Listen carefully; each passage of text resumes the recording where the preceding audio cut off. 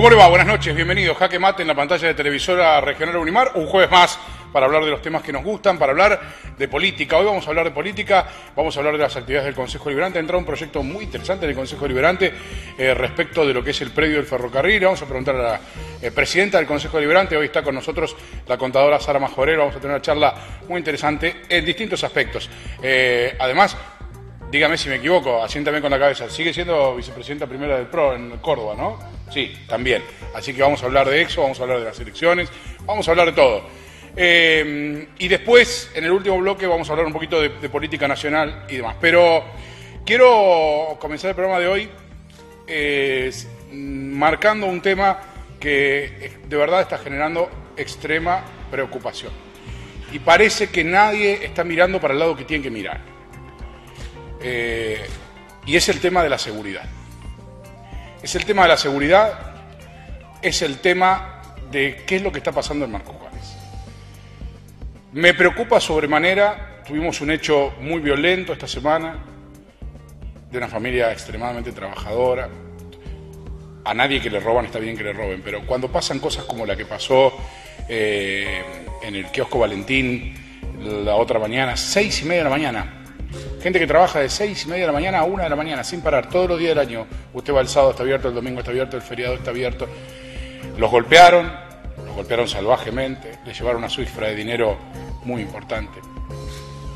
Y yo me pregunto, me hago la pregunta del millón.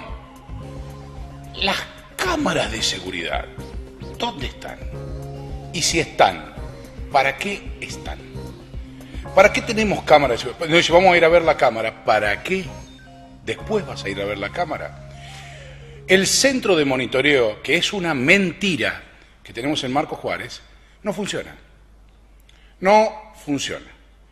Porque si un centro de monitoreo y 38 cámaras creo que tenemos, 38 dicen que hay, yo quisiera saber cuántas andan, pero no importa, esa es otra película, no previene un solo delito, no tiene razón de ser no tiene razón de ser.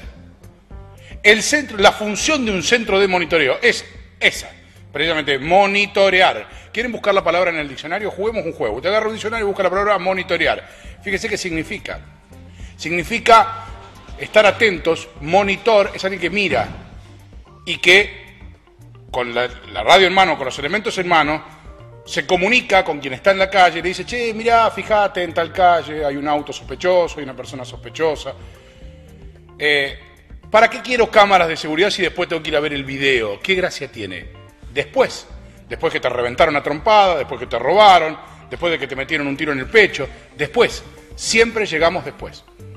La policía de la provincia de Córdoba, en Marco Juárez, nos tiene desamparados. El centro de monitoreo tiene que ser municipal, pero la municipalidad eligió mirar para otro lado con respecto a este tema. ¿Por qué? Porque se lo dejó en manos de la policía. Y el centro no tiene que estar en manos de la policía. No tiene que estar en manos de la policía. Tiene que haber personal rentado mirando las cámaras en serio.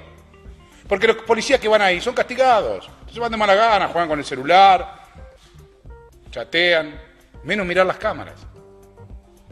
Y el otro gran tema que tenemos es el tema de las benditas licencias de la policía. Todo el mundo está de licencia con carpeta psiquiátrica en la policía. No tenemos a nadie.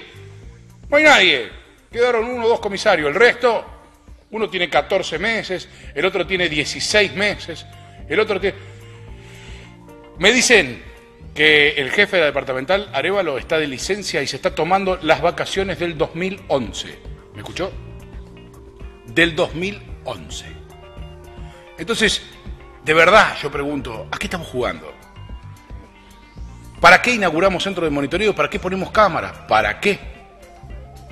¿Para ir a ver la grabación después? Después que la gente tiene un ojo reventado, de que te llevaron la plata, de que te rompieron la casa. Después, siempre después. Nadie va a poner las marcas en remojo con este tema. Nadie. Porque parece que es un tema de otro. Siempre es un tema de otro.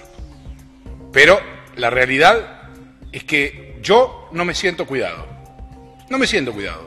No estoy tranquilo en Marco Juárez. No me siento cuidado. Acá se vende droga abiertamente. Me hablaban de un caso en Villa Argentina, tomado de un teléfono, en un asado, donde el vendedor se paró en la mitad de la calle. ¿Me escucha? En la mitad de la calle, con los sobrecitos así, paraban los autos y vendía a la ventanilla de los autos. 11 de la noche, un día viernes. Pero es un problema de otro. Siempre es un problema de los otros. No camino tranquilo por mi ciudad. No me siento cuidado. Y lo peor de todo es que siento que a nadie le importa. Mi solidaridad con todas las víctimas de robo, pero sobre todo con la gente de, esta última semana, porque sé del esfuerzo, sé del trabajo, sé de las horas, de las horas al calor de las cocinas, trabajando, todo para que dos hijos de mala madre te rompan la cara a trompadas y te lleven la recaudación de todo un fin de semana de trabajo. Una pena que en mi ciudad tenga que andar con miedo, pero la verdad, yo salgo con miedo a la calle. La pausa y empezamos el programa con nuestra invitada del día de hoy.